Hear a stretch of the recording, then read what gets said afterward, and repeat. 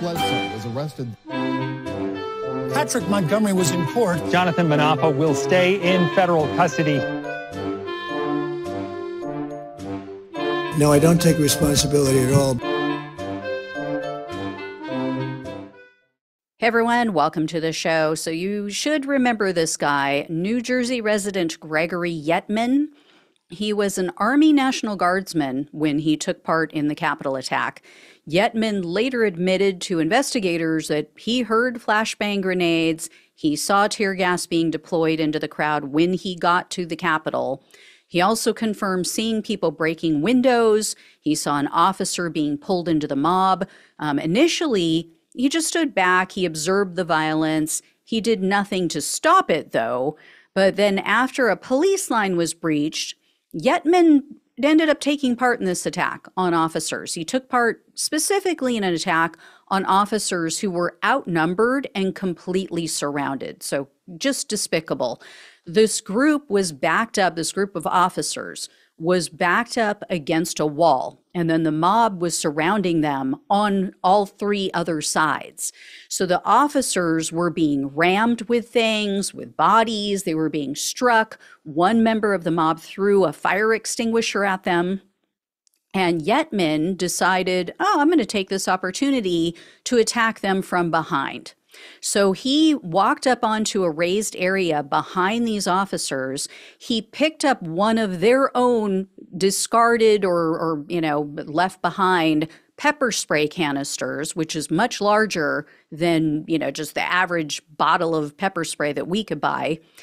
And he shot it at the officers. He shot these officers with chemicals for about 14 seconds straight. That may not seem like a lot, but try doing something, anything for 14 seconds, you'll realize how long it is. And because of Yetman's attack, the officers were forced to retreat. And so that allowed the mob to advance further onto the Capitol grounds. So from there, Yetman headed over to the Lower West Terrace Tunnel.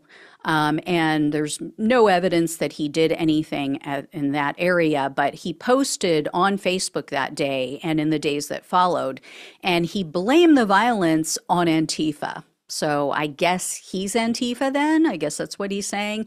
In one post, Yetman wrote, quote, what happened at the Capitol was unfortunate and uh, unacceptable. I was there. I witnessed it. I can attest to Antifa members infiltrating our protest and meshing in with the Trump supporters.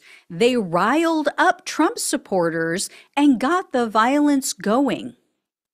So I guess he's also admitting that he and all of the other Trump supporters who were there are just sheep, right? You just follow the leader, right, Yetman? Is that what you're saying? I mean, all it takes is one well placed Antifa, quote unquote, Antifa member to get you guys going. Uh, it's so sad. Um, anyway, in yet another post, Yetman blamed the police for the violence. He said, quote, I was there. We were gathering and they started lobbing OC at us. People got p- posed, supposed to be pissed, and rightfully so it was sad to see what our country has come to, but being peaceful and the quote unquote nice guys got us nowhere. this won't go away. The people have been wronged, and we want justice and fairness.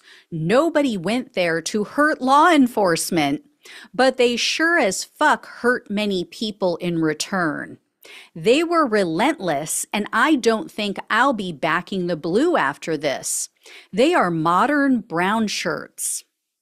Yeah, they're the brown shirts, not you, right? And I love how he says, you know, oh, we were nice guys before this. Really? Were you? Were you? Let's talk about the Trump train down in Texas. Let's talk about all of the violent threats. Let's talk about the guy who sent pipe bombs, the Trump supporter, with his entire van covered in Trump paraphernalia, who sent pipe bombs to Obama and the Clintons and all these Democrats. Give me a freaking break. These people are so delusional about their own side. So, anyway, Yetman told a very different story when the FBI interviewed him. So they interviewed him in January, just later that month after the Capitol attack.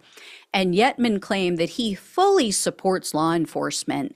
And he said that anyone who entered the building was a piece of shit, his words, and anyone who assaulted officers should be prosecuted. I agree.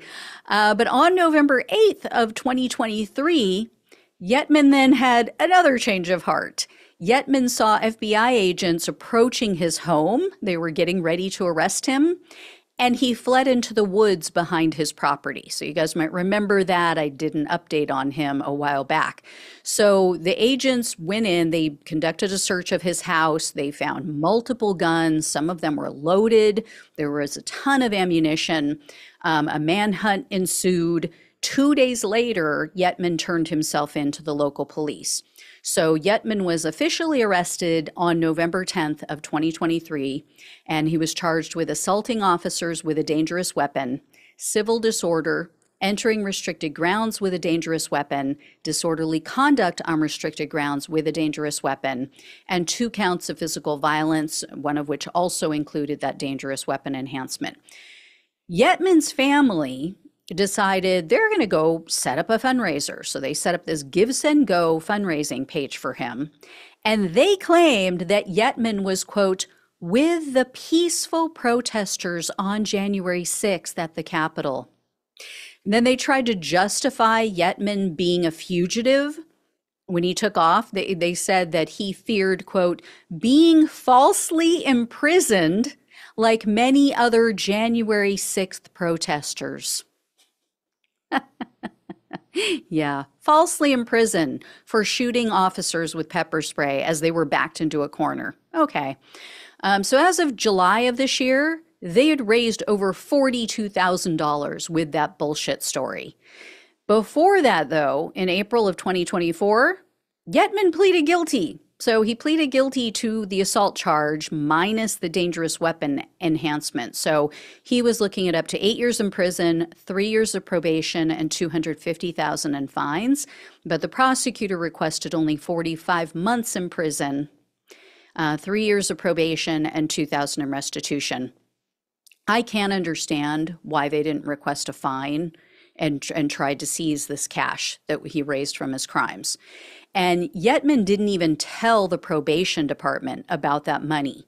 So you have to, when you are working with the probation department during your case and everything, you have to fill out paperwork, as I understand it, and tell them everything. You have to tell them all about your assets, anything that you have. He left that off. So they absolutely should have taken it. Anyway, Yetman's attorney argued for leniency because they said essentially his client has suffered enough. And he pointed to the fact that Yetman has already been in jail for eight months now, and how Yetman, quote, now has a felony conviction in his record, which will legally deprive him of the right to possess firearms and to vote. Ah, womp womp and thoughts and prayers. I guess you should have thought of that first, huh? Um, so, U.S. District Judge James Boasberg presided over Yetman's case. He is typically very tough. He usually gives prosecutors everything they asked for. So I was pretty surprised by this. For some reason, he sentenced Yetman to only two and a half years in prison, 18 months of probation, and 2000 in restitution. So, yes, he does have a felony on his record. Yes, he won't be voting for the apricot antichrist anytime soon. But he attacked officers who were in a completely vulnerable position. And this is while he was serving as a military police officer. Not just in the military, as a military police officer. That is disgusting. That is reprehensible. So, no, it's not anywhere near enough time behind bars. No. I don't know what went on with this with Boasberg. Honestly, I'm blown away because that's just not him. So, anyway, I will let you know if I hear any more. Thank you all so much for watching and listening. Please like this video, share it, become a subscriber if you have not, become a donor if you possibly can. Love you all. Take care. Talk with you soon.